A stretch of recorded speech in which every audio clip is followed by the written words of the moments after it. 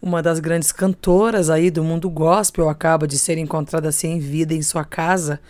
A famosa alcançou o primeiro lugar nas paradas de música cristã no seu último disco.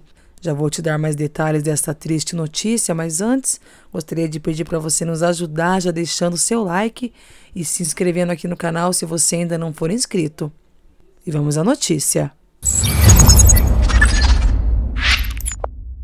Um dos grandes nomes do mundo gospel, a cantora Mandisa, foi encontrada sem vida em sua residência. A artista de 47 anos teve seu falecimento confirmado pelo site da revista People.